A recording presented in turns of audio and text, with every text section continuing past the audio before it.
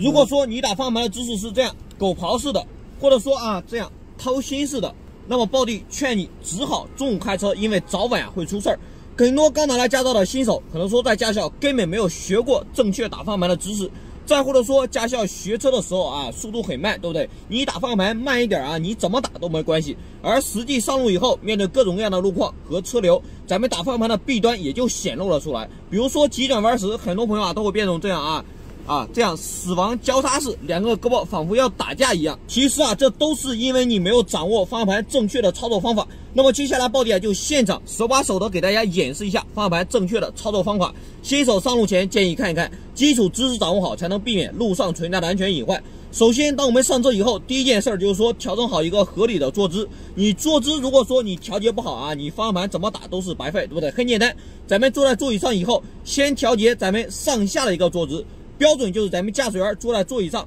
目光往前看，看到的刚好是咱们挡风玻璃中间偏上一点的位置，并且呢能够看到咱们车头引擎盖，这才是刚刚好。最后呢调节座椅前后的这个距离，咱们呀把这个脚啊右脚这样踩住刹车，踩到底以后再调节前后的角度，咱们把这个大腿和小腿之间的这个弯度啊，大家看一下中间这个角度调节到一百一十度最为适宜。那如果说角度太大的话，咱们的脚踩不下去。角度太小，咱们的腿啊容易碰到这个转向支柱，所以说咱们前后调节到这个大腿和小腿之间的角度一百一十度最好的。那么最后呢，咱们再去调节这个靠背的角度，一样是调节到咱们的啊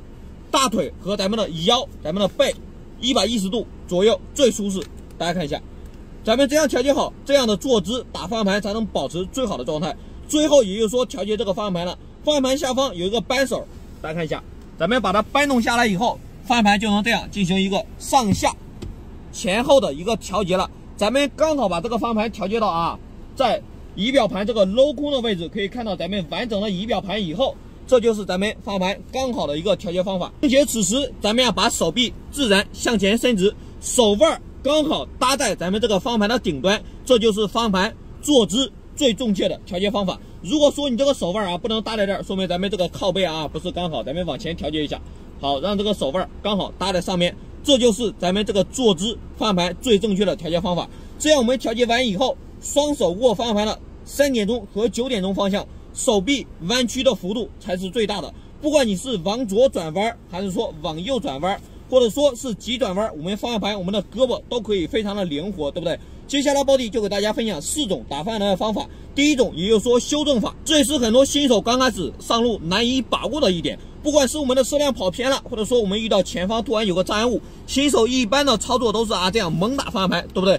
这样是绝对不允许的。一旦我们这个车速过快，很容易啊甩尾或者说侧翻，特别是在高速上。如果说你发现你的车子跑偏了，或者说压线了，那么我们就只能啊少打少回，缓打缓回，慢慢的去修正，让我们车子啊尽量保持一个直线行驶，这样才能保证我们的车辆行驶更稳啊，更加的安全，对不对？第二个传递法，这个方向盘的打法，我相信很多司机在驾校都学过，一般教练教的啊都是这种方法。这个方向盘啊，大家看一下，这样传递法，对不对？这个方法不管我们是在转大弯也好，转小弯也好，我们打方向盘都需要连续的去转动，对不对？包括进入环岛时，弯很长却并不急，咱们这时就可以用到传递法了。也就是说，在转弯的时候，比如说我们想要左转弯，我们就可以啊一传一递，一传一递，这样慢慢的进行。回方向盘也是一样的。这样整打整回，一传一递，协调进行，用力均匀，这样咱们在转弯的时候才能让车身更稳。可以说非常适合咱们新手这样啊，一传一递，一传一递，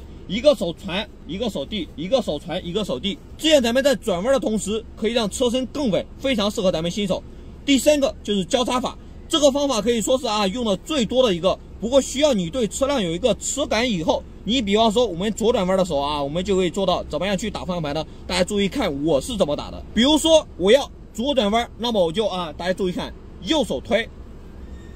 左手接，右手推，左手接，这样打方向盘是不是非常的灵活呢？如果说我们要右转弯的话，我们右转弯就用左手推，右手接，左手推，右手接，这样也是非常灵活，对不对？回方向也是这样。这个方法不管是窄路转弯也好。还是说转大弯也好，都可以用这个方法，这个交叉法。但是啊，这里有个误区，咱们千万不要啊这样交叉打时啊，推的这只手你在方向盘上不放。大家看一下，比如说我们要左转弯，我们右手推的同时，你在方向盘上不放，这样啊就很容易形成啊你的胳膊两个胳膊交叉，对不对？这样你的两个胳膊就像打架一样。一旦因为你这样啊，你的方向盘打不及时，很容易发生事故。这就是暴迪一开始给大家演示的死亡交叉法，两个胳膊像这样像打架一样，这样很容易让你打死方向盘回不去。新手一紧张就容易出错，记住是一传一递，两只手啊，你不能说同时在方向盘上去发力，记住啊，是一传一递。大家看一下，往右打，我的左手发力，我们打到对称的位置，尽量往下多拉一些，右手接对称的位置，这样往下一拉。左手再接对称的位置，再往下一拉，这样左右手再接。我们记住啊，是你不能两只手同时发力，往右打也是同样的，往往左打也是同样的。我们右手发力，直接拉到下方，我们的左手接对称的位置，这样往下一拉就可以了。这就是我们交叉打，连贯起来打的话就是这样啊，大家看一下，